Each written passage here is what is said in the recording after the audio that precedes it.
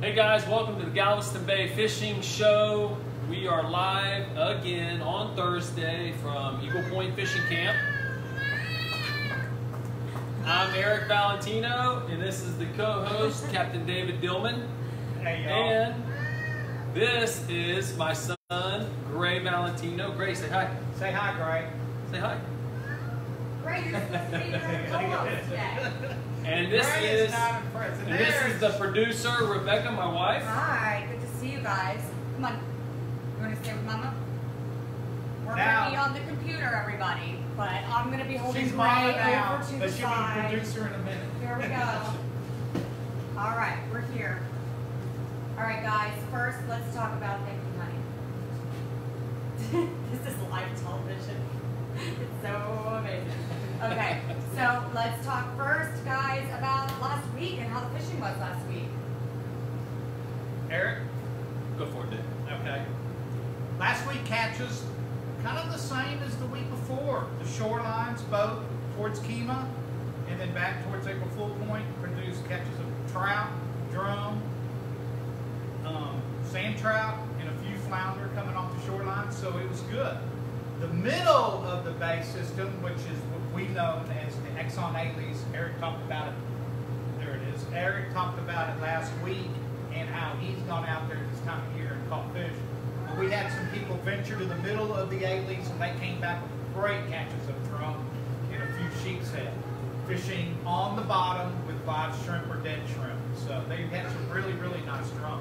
So Yeah, we saw good. we saw we saw different ways of doing it. Like David said, we had people they want to go out there with the live shrimp, but then we had numerous boats say, "Hey, you know, we caught them with the dead shrimp, which which I find to be very effective." So they caught them with the dead shrimp as well, and we've had many of the same customers for the last three or four days that have gone out a couple times, and they're, and they're getting And they're catching fish, that's right. They're catching the drum out in the middle of the Exxon Avens. Galveston Jetty still producing bull reds, slot reds, a few trout, drum. Sunday, actually, some of my friend, a friend of mine was out there with his son and a couple of their friends, and they ended up catching a few sharks and bull reds. And they had one pretty big bull shark, probably about a little over a hundred pounds. So it seemed like they had a pretty good trip. So kind of strange to still see some sharks being caught, which means the water temperature is still a little warm and um, still. And then we saw some catches as you go down this shoreline from Eagle Point. We saw some catches that would string back up into Dickinson Bay in the what we call the uh, Dickinson Bayou. There's been some nice catches of redfish in there, and that's something to keep in mind. Yeah, that deep water gives them a little bit of protection, especially with this upcoming weather this weekend. And Eric, what is the forecast for this weekend? Yeah, the the show today is really formatted around this weather that we have coming in. Our first big cold front of the year, y'all. This is a real. This is gonna be the real. This is the real cold. Yeah, this is the real deal. So it's not it's no big deal to us, but we just wanted to make sure you know that we're talking about a real front. Texas northeastern. And what we're looking at, the forecast right now for Friday is 20 to 25 knots, which would translate to roughly 25 miles an hour, up to say 30 miles an hour in wind. On Saturday, they're forecasting the same thing, roughly 25 miles an hour to 30 miles an hour. And then on Sunday, it's going to be forecasted a little bit lower to be roughly 18 miles an hour to 25 miles an hour. So we're going to talk about that, and hopefully, what you get from this, our intention is that there is a high percentage of boaters that, understandably, they see that wind forecast and, and they're out. And they're not gonna go. They're not going to go, and, and look, we understand. Certainly, if you've never had any real action or any real success on where you might go in these sorts of winds. Now, from our standpoint here at Eagle Point, when you're looking at anything over 20 miles an hour, I will tell you that my family's always believed we see 20 mile an hour winds or higher, we're all under the same program that we would advise you not to go out into the bay what we call the open bay. So here we are. A northeast wind is going to be coming like this. Here's north up here. Here's south. Northeast is going to be coming like this. And that wind is coming straight across the bay. So if you come out of Eagle Point, or say for example the dike, and you come out into this bay, you're going to catch a tremendous amount of wind and some very dangerous chop. It seems like a northeast really is uh, probably one of the toughest winds to run, to make long runs, no doubt about I, I, I. Eric doesn't I like do not it. like a northeast wind. I've made the runs. It's you know, I mean, it's like it's one of those deals where you got to know your boat's capability and what you can do, and then you got to be safe in the meantime to see if you're really going to go and try to go where you think you need to be, where the fish are. So there's places to fish under this wind, under wind. Maybe not so much 25 to 30. I would probably not go at all at 25 to 30. But typically, Eric, we've been here a long time. You've been here a long time. I've been here a long time. And the You're a, di- you're a dinosaur. right, the first day of a northeast wind, it's going to blow, and it's probably going to blow all. But sometimes that second day, they may predict that little 20 to 25, but by 2 o'clock in the afternoon, you'll see it start to lay down. Yeah. And so it does get fishable, and then you just got to time where you go and when you're going to try to go, and where you're going to try to go. Where you're going to launch, what are you going to try to do? So there's definitely places to fish under this kind of wind condition.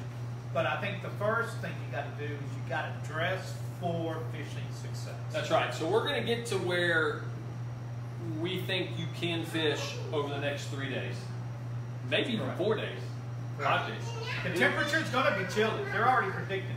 It's going to be chilly. So we'll get to where we think you can fish and you can catch fish, but let's talk about how you're going to dress before you go. That is correct. So, So- I think, go ahead. Well, so we've already seen numerous people, including myself. I came down here today. I came down in short sleeve shirt and shorts and just some regular old shoes that the air just blows right through these shoes. And hey, I don't like the cold. And he closed every window I had open because he said he's closed. I He's closed cold, all the windows and it's cool. So I had my jacket on and you know some really good insulated kind of water water. I mean they are they're waterproof shoes. And so I was good. My feet were I was warm. so where are we going to start? Let's start with the feet. Let's start with the pants. Let's just start with pants first to keep your legs warm. So they make Wrangler makes some insulated pants. I think you've seen me wear them, Mhm. and they're fleece lined and they're water resistant on the outside. And Wrangler makes them. You can look them up online. You can buy them online. I bought mine at the factory stores in La Marque, and these are probably some of the warmest pants I've ever. I mean, they are. They're the nicest pants I've ever worn. They're really soft. They're easily you can maneuver in them. Um, they're actually carpenter pants, so they give you the extra room.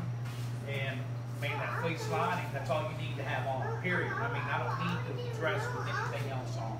No more protective bib or anything like that that's bulky. I mean, I put those pants on with I'm wearing Merrell type hiking shoes, tennis shoes.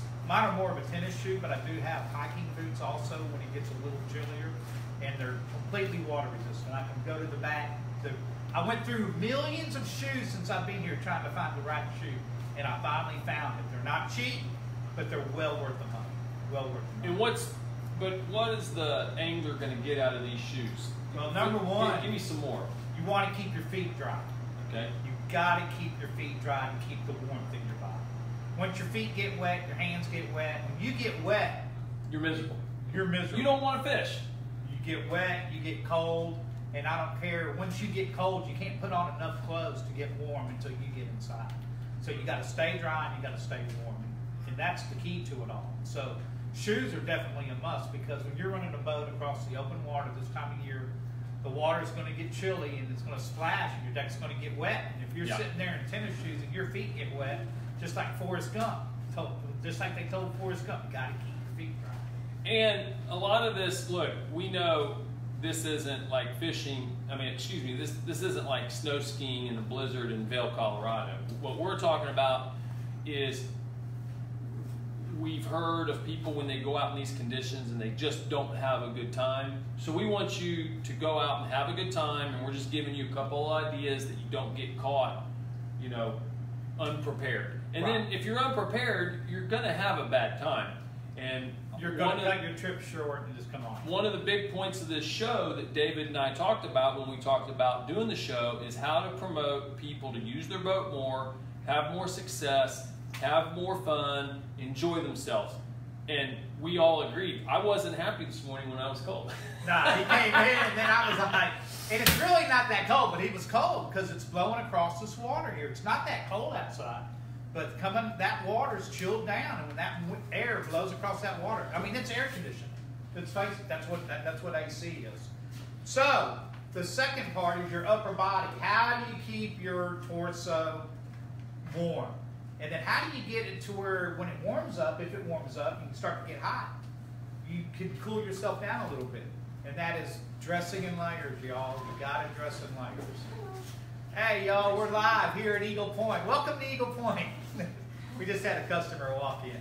So anyway, you've got to dress yourself in layers in the top. And what I like to do is I'll put on two or three, and Eric's seen me do it. I put on two or three t-shirts, a long sleeve shirt, t-shirt, maybe two t-shirts, a long sleeve t-shirt, a sweatshirt, and then I wear my jacket. This is probably one of the best jackets I have. One of my customers bought me this jacket, and it's just like a Simms, but it's a Magellan, and it is a waterproof, windproof jacket. And with all those layers of shirts on and that jacket, I'm warm. That's all I need. Yeah, I it's don't need a the- big burly jacket. I can zip myself. It's velcroed all the way up. Keeps the wind completely out of you. So Simms makes one, and there's probably twice as much as that one. And this has been a great jacket. I wear it everywhere. I mean, my girlfriend hates it because of the sound, but I think it's the greatest jacket.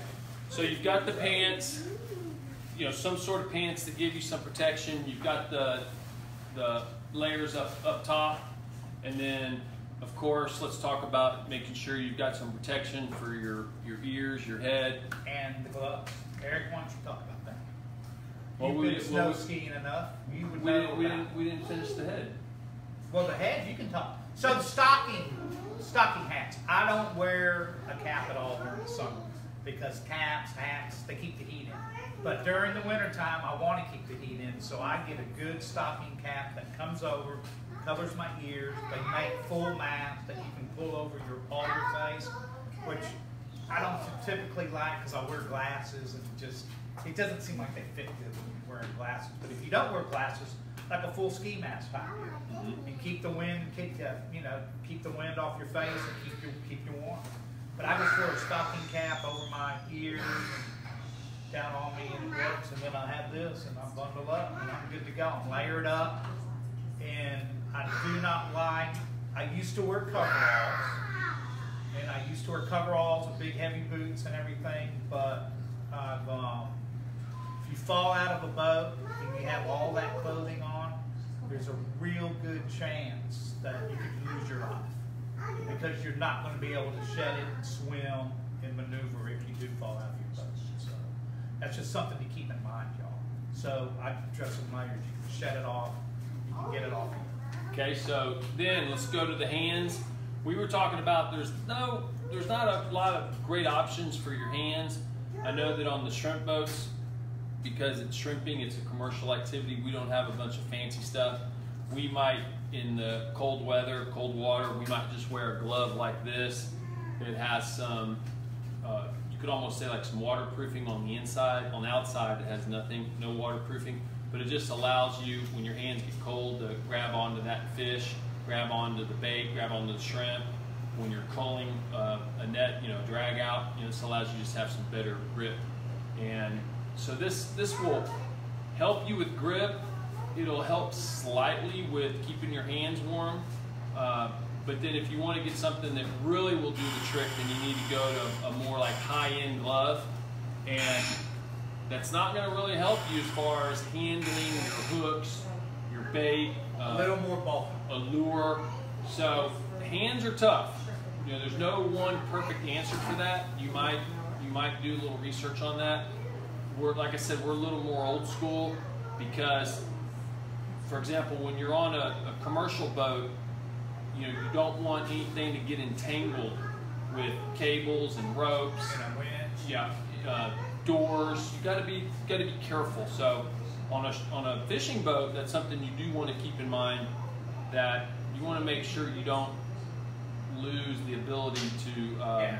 and help me out, Dave. Lose the ability to To, to, to, to work your fingers. To work reel, your fingers. Reel to reel in. So, So- they make gloves with the fingers cut off, and I've used the waterproof gloves. The fingers cut out, but it's actually good to have maybe a couple pairs. One to run your boat in that's fully covered, that keeps your hands warm and waterproof. That's good, Because- that's a good idea. Because when you're running your boat and you grab that stainless steel steering wheel, and it's like, you know, let's just say it's 50 degrees outside and it's not sunny, nothing to warm it up. That that wheel's cold. Yeah. So it, it really helps. And then when you stop the fish, change over and put the gloves with the cutout fingers so you have use of your fingers. And it works well. And so that's what I would recommend. Um, probably one of the best places to go for all this kind of stuff. And I'm gonna I'm gonna plug this Cabela's because they have it all. They got everything for the hunter, the fisherman, and they have these winter type clothing for you know skiers. I mean, there's all kinds of things you. And I like to look in Carhartt. Carhartt would be good. Academy may be a good place if you get if you have a good academy. Some academies don't carry what you really need, by some by others do. So And then maybe lastly on this subject, one thing that would be really nice, and, this might be something that would be a Christmas gift for somebody. Is that a know, hint? like a, a fairly a fairly high end full like bib and jacket suit. So Carhartt, for example, makes one that I've I've really liked and wanted to get. There, there's there's a host of them. You can go up to West Marine. They sell them the full The waterproof, the full yes. kit. Yeah. Now they're not they're, they're not a lot of these are not insulated. The way they make them is like david's saying they're not insulated. They're made to go over your clothing.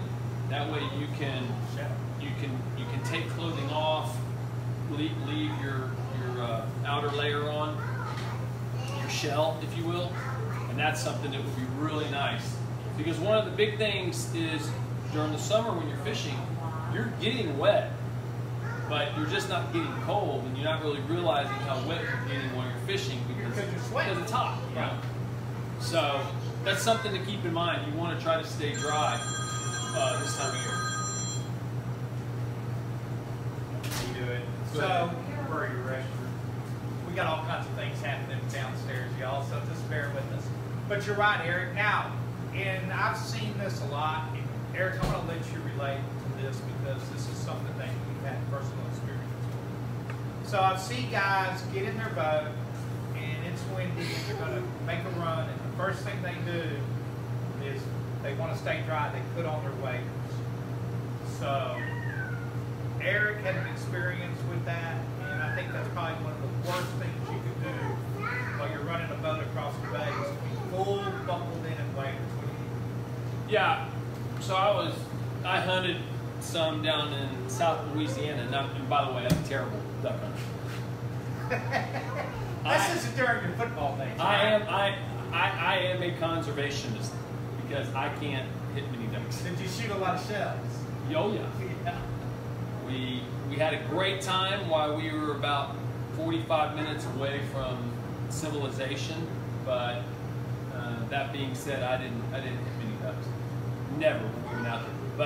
But uh, one of my best friends, Mark King, uh, down in Houma, Louisiana, he would take me hunting, and you know, we would we would have the Waders. the, the, the insulated waders.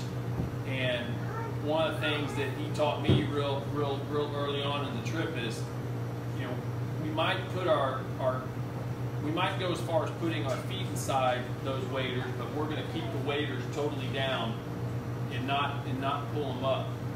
Because in South Louisiana, you'll have, and of course all over the country, you're going to have people that will put these insulated waders on, or non-insulated waders.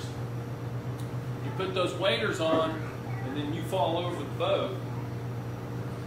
You fall out of the boat, excuse me. You have some sort of boating mishap. You hit something in the water, the boat's jostled, you fall overboard, then that that can lead to you uh, potentially drowning. So you're not going to get these waders off typically when you fall out of the boat. Correct. And I had an experience, this was probably, I guess, And, and, and by the way, this, this is very common with shrimping boots. So, you know, a shrimper can fall overboard and they've got shrimp boots on and they, they, they, they have a hard time getting them off. I mean, it's, it's, it can be scary. So even though I had that experience growing up, on on our on our shrimp boats, we were never the type to get all geared up in the the uh, the the full bibs and all that. Uh, that just was seemed like super uh, high end us. You know, we would dress to stay warm, but but never a lot of bib, you know, full bib gear and stuff. Or layer. But um, when my friend Mark was explaining to me about the bibs, you know, I was still fairly young. I was I was kind of surprised. I never really thought of it, you know, from that perspective. And I didn't grow up wade fishing, so when I learned of how these accidents happen, it was pretty eye opening. So if that's something you never heard, uh, and or you do know this, please make sure you pass this on to the younger boaters out there because there are younger boaters that that may not know this. It can be very dangerous. That's correct. Two years, two, three, man, it may, let's say, say four years ago, there was a couple of guys that they went kayaking out in the northeastern and West Bay. And both kayaks flipped over. One guy made it to safety, the other guy was found. I, I helped in the search for a couple days, but, um, the other gentleman was found, young man was found two weeks later by some friends of mine, Jamaica Beach Fire Department.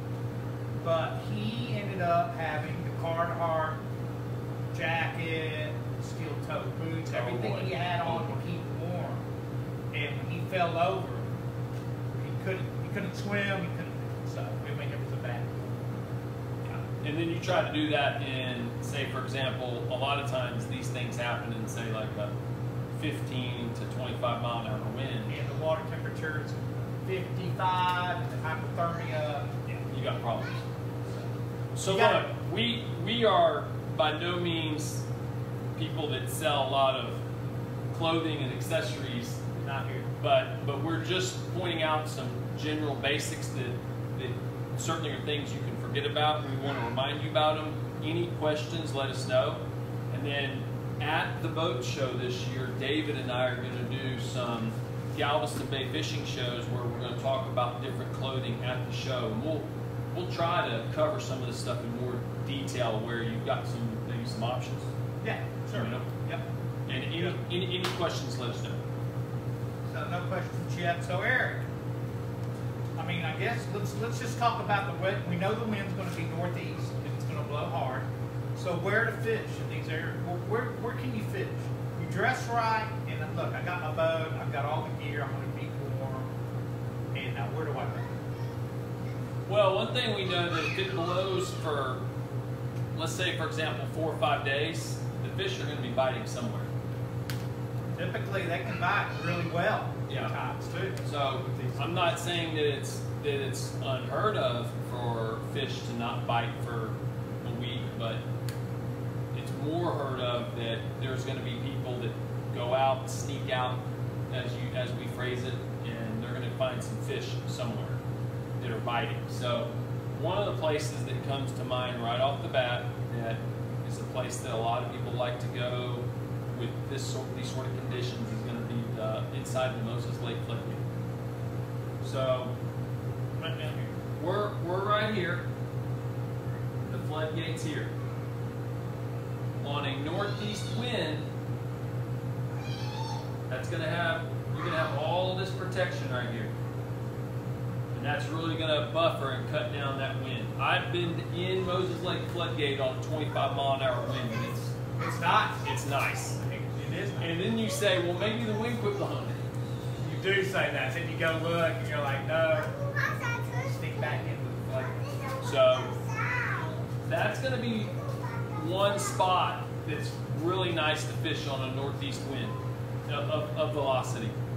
And then a second place that I like to fish is going to be in this Dickinson Bay. What do we want to call it, Dave? The curve, the cove, In the back, the back. the northeast corner. But right in here, you're going to get tremendous amount of coverage from all of this section of San Leon. It's really going to break the wind down. You've got a lot of houses, you have some trees. You're going to get very little wind. Even at a high velocity, it really cuts the wind down. It does. It makes it efficient. So this will be really nice. You have Dickinson, what we call Dickinson Bayou, Dickinson Bay Channel, going into Dickinson Bayou. And Dickinson Bayou, you- there will be sections of Dickinson Bayou that are very nice. Now Dickinson Bayou is actually deep, but there are shallow aspects of Dickinson Bayou. So you know that's something that you might want to take some time to learn and Yeah, you can run. I've run back there, and you can actually run it, and it's you know you stay in the middle of it, you find a little channel, and it's four, four and a half foot deep, and then it comes off onto these flats that may be three foot deep, but it's all very fishable. Yeah, all very official.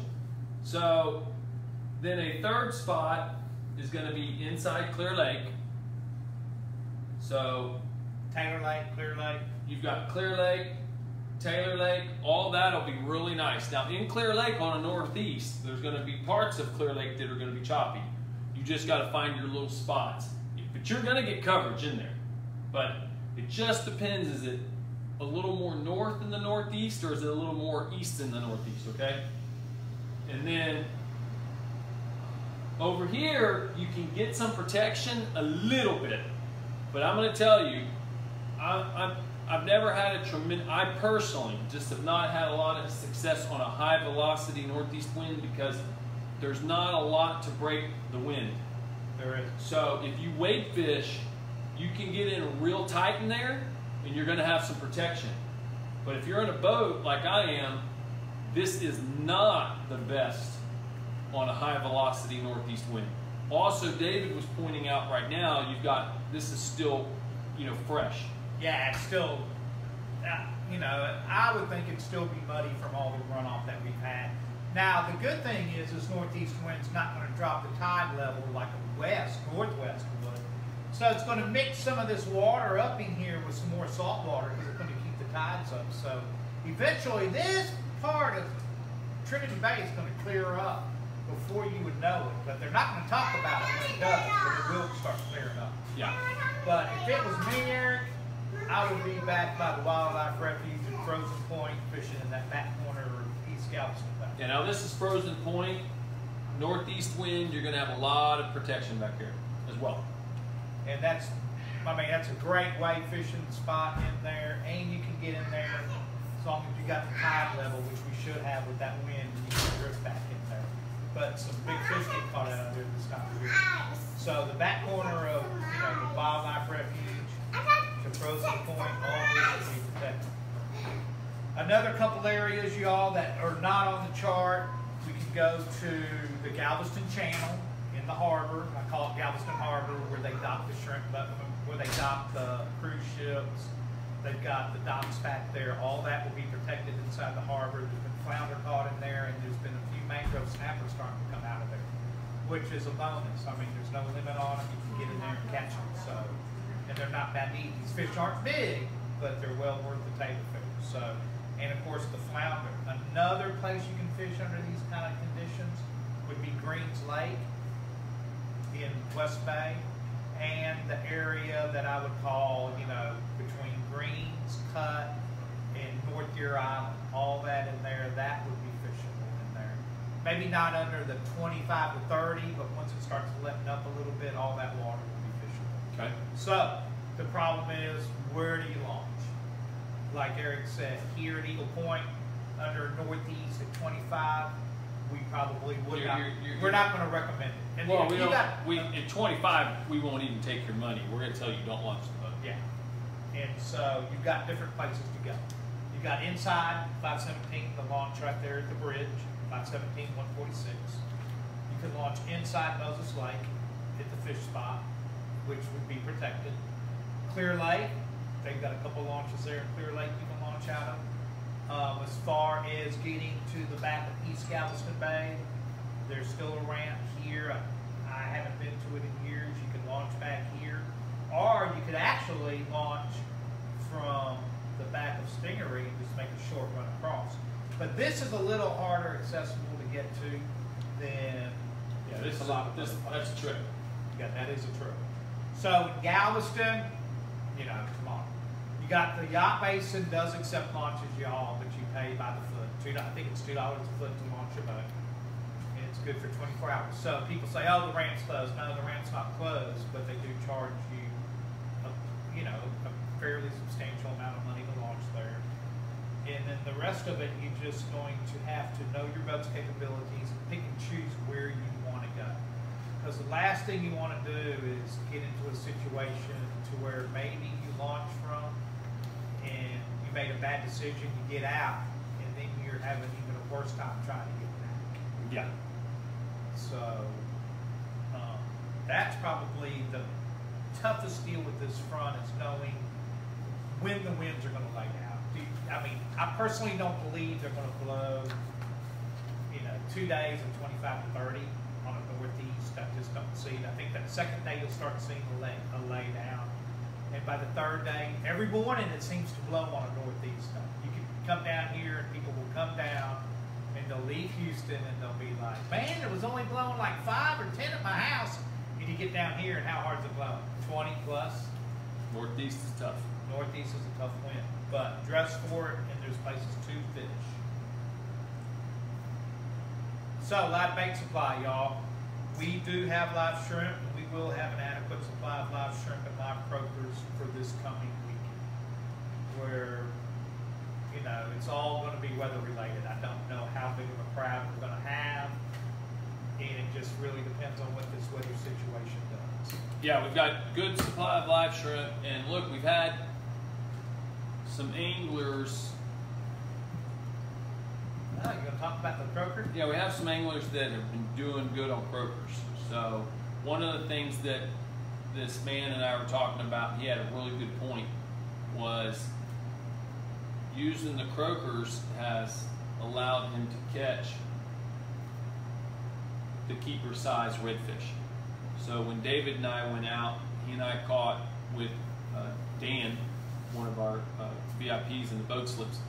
So we caught a bunch of reds, but a lot of the reds we caught were too small. And so this gentleman was saying that uh, between here and the floodgate, he's been catching the keeper reds and he's been doing it with croakers. So that is something to keep in mind. And what were we going to say, David? I'll read some of this. Keep talking, Eric. Okay. Uh, but as far as the bait goes, we've got the shrimp, we have the croakers, and you brought up something, David, I was going to talk about. Oh, The croaker bite. No, but it was something else. Um, I brought it up. So, Carl, how you doing, buddy? Haven't seen you in a while. is that Carl Carl McGarvey? McGarvey. Yeah. Carl McGarvey is one of our finest, and um, definitely thank him for his service, y'all. He's an Air Force pilot. And then your dad, talking about the same thing I was talking about with the northeastern wind.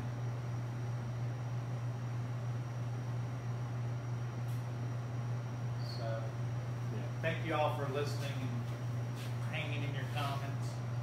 Yeah, it looks like my dad was talking about how The same thing I was saying. by the third day, It'll start. It may be blowing in the morning, but then it starts to lay up. Every a northeast wind will settle. Typically, it does. Yeah, one of the guys, I did want to say this that I was talking about this last week. How one of the guys I grew up fishing with, he says after a real cold front and it stops blowing, Kemah and Seabrook Flats, y'all, between between Seabrook, Kemah, and Red Bluff Reef, all in here. So I'm gonna be talking to you or Dan about trying that out. Oh, definitely. In other words, after this cold after this cold front comes through and it's now a, a reduced temperature, he was just saying this always seemed to really pay off for him.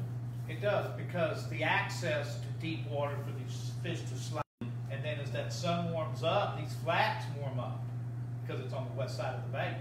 They get, it gets more sunlight. The west side of a bay system, especially during the winter time, seems to warm up because you get all the sun.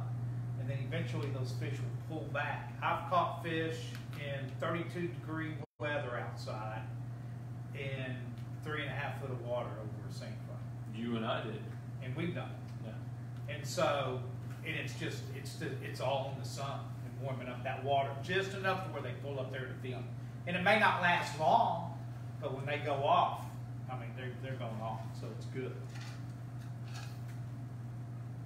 Any other questions? Anybody have any questions on the board, on the Facebook page? I don't see anything. No, I think we just about covered it all. I think we did. I know Mr. Gray outside is like, we're going fishing. Daddy has to take Gray fishing. I'm Yeah. out." Yeah, my son Gray was on his way down here with my wife Rebecca, and all he kept talking about in the car was wanting to go fishing. So it looks like I'm fishing today. Hey, my buddy Philip Thompson of Abbott Angler Jewelry. Oh yeah, oh he has Yeah, some beautiful so- jewelry, In fact, he's the one that caught the big bull shark. and he and he will be at the boat show. He will be in the boat show. And do you have some of his jewelry on? I do. He's given me a bunch of pieces, y'all. Done this. Of course, I tarnished real bad with my skin, and he's made this hook for me, but all in sterling silver. He does gold. Well, nobody does. can see that. Show. Oh, okay. So I see. Y'all see the fish hook? Yeah. Yeah, he has some beautiful And stuff. then, um, I've I've been looking, but I haven't bought yet. I gotta yeah, save you some just money. need to buy it from him. So Philip Thompson makes it. He creates it all himself. In fact, he uh, created the. He made the first piece of jewelry he ever made, as far as a fish, was for me. This was many, many years ago. Philip and I go What way about back. 1960? Uh, probably not that old. I'm joking. But no, it was pretty close. It was like, you know, it was like in the 70s. So anyway, but yeah, we grew up in the same neighborhood. So I'm gonna get a fishing report real quick. One of our customers. Okay, hang on one second, y'all. We'll see if anybody caught any fish. Pull towards the back. These guys went to the wells, I'm pretty sure. So we'll get a fishing report. And Juan Cruz today, I forgot to say, Juan Cruz, one of our slip customers, he came in and he had two reds, five or six trout, and about ten big sand trout. So he's on a little bit of a roll, and he's catching this fish right down the shoreline. So he's going to the same place, and he's on a roll. So I I don't know what he's doing, but whatever he's doing, he's catching. And he's having some, you know, some pretty good days. You know, other the other day he came in, he had 27 trout, so he did really. And Eric's still running his mouth rather than giving me your report. So of course, you know Eric's house got hit by lightning, so they're still trying to get a new refrigerator and all that other stuff. And uh, for myself, I guess everything's been going good. My got a special guest coming. Oh, we got a we got a guest star coming right now. So hang on. Hold on, folks. It's about to get real. Eric, did you ever get a fridge? Oh yeah, we got a fridge. Took it back. No, it wasn't delivered yet, but we realized that it wasn't going to fit properly, and anyways, replaced it with with the similar refrigerator, you know, that, that exploded upon the lightning strike. Right.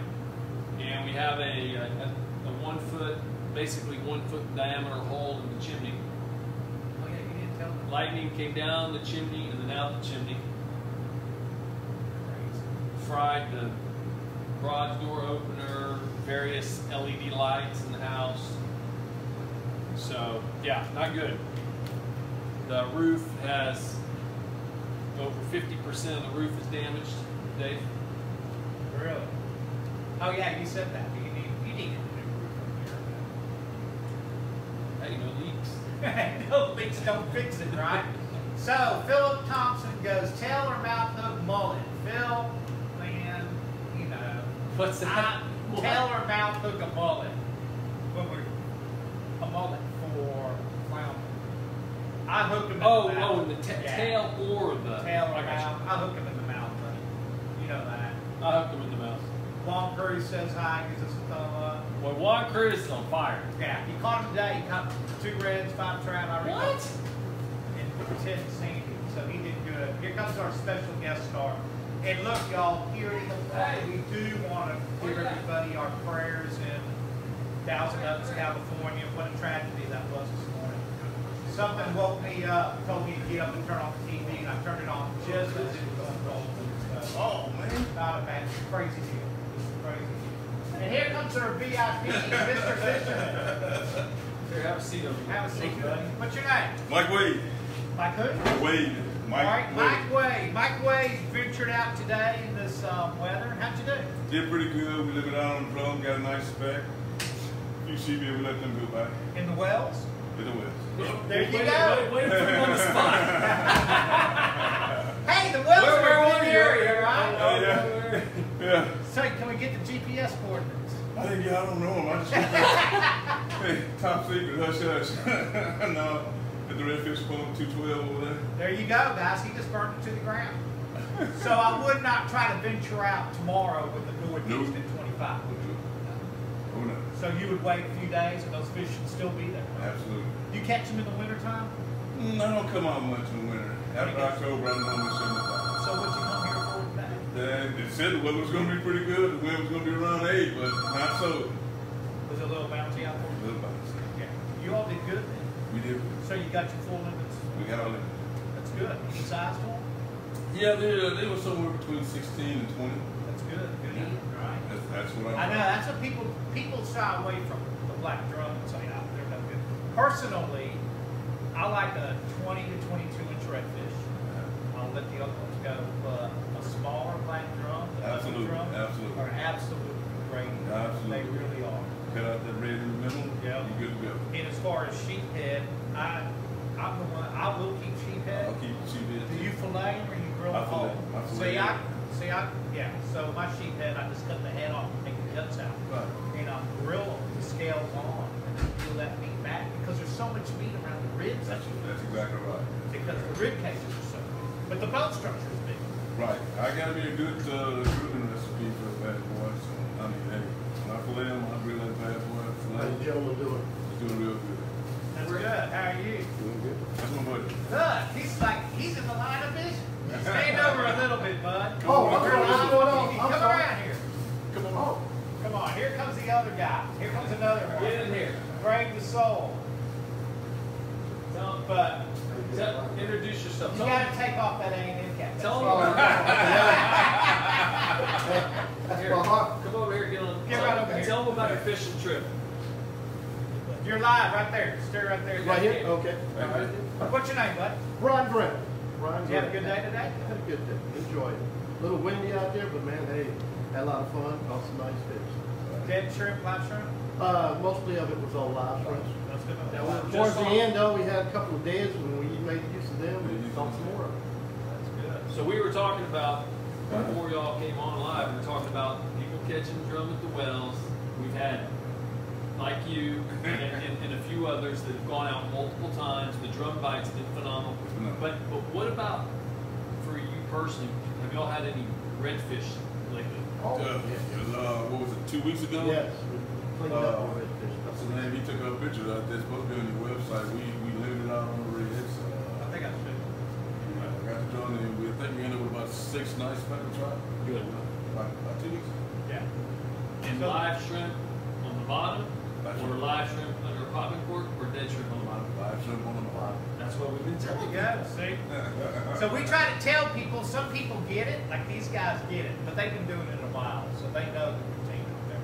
Hey, So it's one of those, it's a good day. I mean, you launched, you, you talked about the wind, you know, Yeah. like, man, I told y'all, I said, look, it ain't that bad. Yeah, that's It's not really wide Wasn't cap. that You get the anchor set, Yes. and you just stay there and fish. You're Nice there. angle. Get in that good, good size angle. They tell you 16, go 25. Right, very, We that's had right. show about that. Yeah, you gotta get the right angle. hey, and listen to these guys. If they tell you something, hey, pay attention to them, you'll catch a fish. So the last thing you want to do is right, go out with a $50,000 boat and a five dollar anchor. Now, now also, we were talking about on the show, and I mean, you guys are dressed exactly like David was talking about. You've got the pants on that are water resistant. That's correct. The foul weather gear, water resistant. It looks like you probably were layered up because you were wearing a jacket, long sleeve shirt. Right. It it was a it was a little chilly. It kind of Driving looks the like boat. it did. It. But it was nice, uh, you know, it actually got cooler after we were out there for a while. That's This right. morning we went out, it was okay. I took my jacket off and we were out there fishing and that fog came in a little bit earlier. I don't know, Okay. maybe Right. up So the you're wet, it's a little damp. Yeah, when the fog came in, got a little damp, I put the jacket back on. You gotta stay dry Yeah. to keep we, warm. We were expecting rain today. We were expecting Right. rain today. Not, but not this cold. It was cold like that. But otherwise, it was great. Yeah, yeah. it- Overcast, It was no nice. sun. Couldn't work out any better. There it is, guys. See, we don't lie. We try to tell everybody what's going on, right? Any more questions, Eric, before we sign off out of here? We can go on and on and on. That's it. That's it, guys. Okay, Hey, guys? we appreciate Appreciate y'all Thank you. being willing to participate. Yeah. We're we're very Next time we'll let you know that you're lying, so he doesn't stay in the mud. And hey, look, excuse the Aggie cap. Oh, man. Oh. Proud of my anger. Gotta get a little better than football right. Right. They fight. Sometimes they don't fight hard enough at the end. All right, guys, here we are. Hey, thanks for joining the Galveston Bay Fishing Show. Thanks for coming on short notice. We'll be live next week here at Eagle Point Fishing Camp in hopefully sunny San Leon, Texas. Amen. Signing off, y'all.